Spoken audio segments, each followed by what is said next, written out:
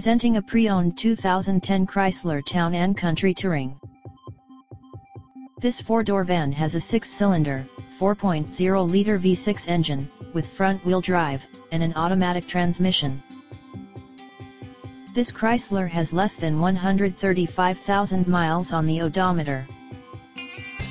Estimated fuel economy for this vehicle is 17 miles per gallon in the city, and 25 miles per gallon on the highway.